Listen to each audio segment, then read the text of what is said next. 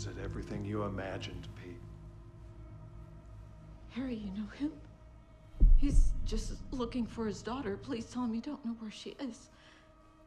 Where's Natalie? Well, you're her dad. You tell me. Fuck you.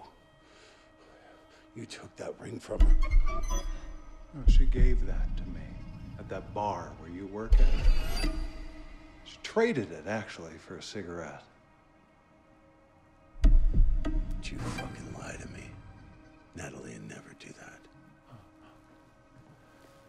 Sometimes people just need a shoulder to cry on. And she certainly never had yours. What the fuck are you talking about, Harold? Will you tell him the truth?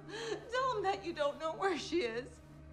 Should I tell him that I don't know where she is, or should I tell him the truth? After all, it was you who was driving the car that night, wasn't it?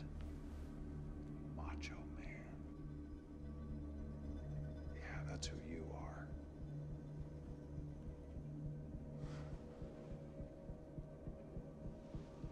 You ever put on a pair of these? Never mind, I can tell the answer's no. You'd have been real proud of Natalie. She was a very tough girl. She didn't scream nearly as much as her mom did.